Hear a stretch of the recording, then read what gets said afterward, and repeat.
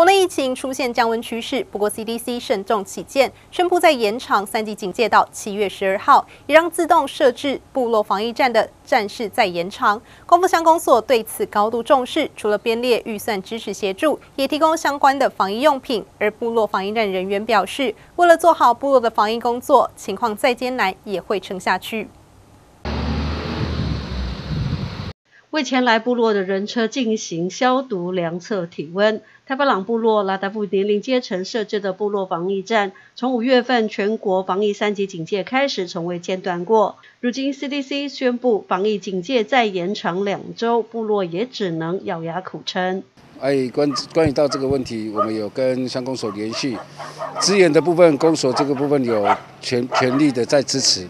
也是碍于到我们人手的部分，还要重重新再做一个调配。没有任何法源依据，人力物力都缺乏，以及部落的部分住户不谅解而可以重伤或不配合，防疫站也都不忘设站的初衷，还是请游客民众以及部落族人住户都能体谅，配合做好防疫，维护整体部落的健康安全。期间防疫人员都是自主性的，也不是也也没有领薪水的，大家都自发性的。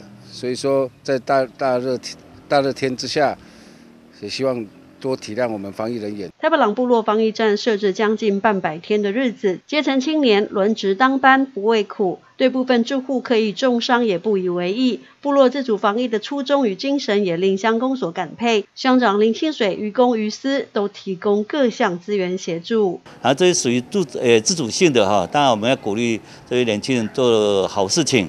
所以公所这边，我们的便当也好，饮料也好，设备啊，还有一些一些那什么那个药水也好，诶，公所都会来供应给他，奖奖励他们的用心啦，哦，所以，呃，真的他们年轻人值得我们来钦佩的。防疫战事在延长，乡公所也出力协助部落自主设置的防疫站。